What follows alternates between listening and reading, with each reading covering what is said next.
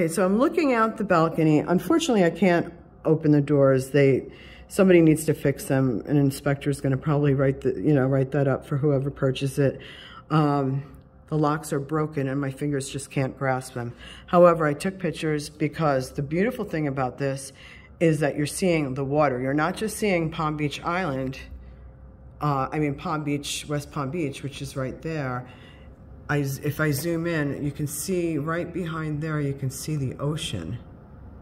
So you're seeing, you know, that as well as downtown.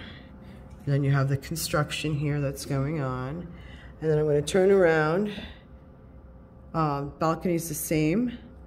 Um, it's got that little pebble type covering um, that can easily be replaced, but it's not bad for a balcony.